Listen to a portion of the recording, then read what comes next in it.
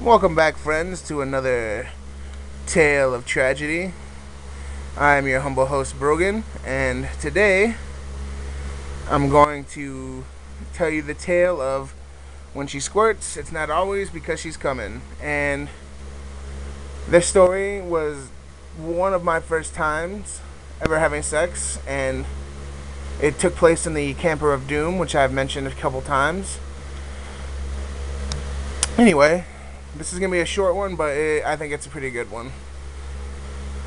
So, I'm uh got this chick, and we're all getting pretty hot and heavy. So I slide my hand down her pants, and I start to give her the old finger blast, and uh, she's digging it. You know, she's getting really wet, and she's like digging it, moaning. So she lays back, and I'm like, okay. So I pull off her pants. I just go, I'm gonna concentrate solely on jackhammering this chick's vagina with my fingers. So I like put her legs up and I just start fucking just going to town.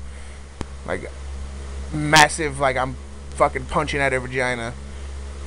Anyway, like after a while she's like moaning and moaning and moaning and then uh, she stops moaning and I just just squirt, squirt, squirt, squirt and I was like, "Yes."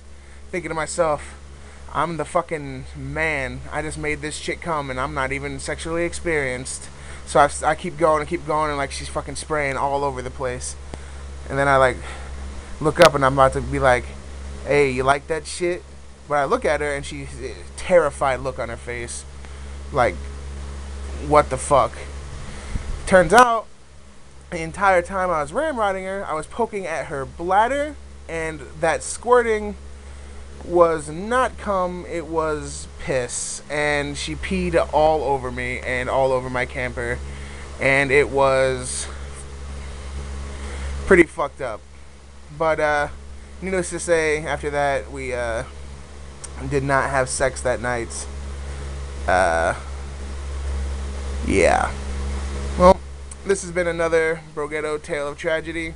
Short one, but like I said, watch what you're poking at because if you're inexperienced, you fuck some shit up down there.